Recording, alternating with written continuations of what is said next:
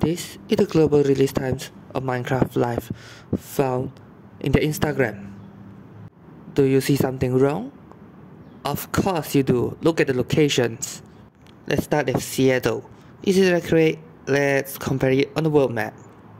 As you can see, Seattle is outside the box. At least it's not too far off compared to the rest. Then, let's look at New York. Is it true that New York is midway between Nova Scotia and Florida? Not bad actually. At least the box is touching New York. Let's move on to Sao Paulo. Oh no, no, no, no. It's not even Brazil, it's Uruguay.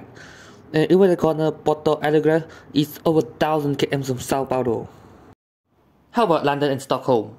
Spot on. Cairo? Beautiful. How about New Delhi? Nah, not even close. Sydney? Canberra? Not you. Get out. Now that brings us to the worst offender in this map. Tokyo. Can't see where the box is? Alright, let's zoom in.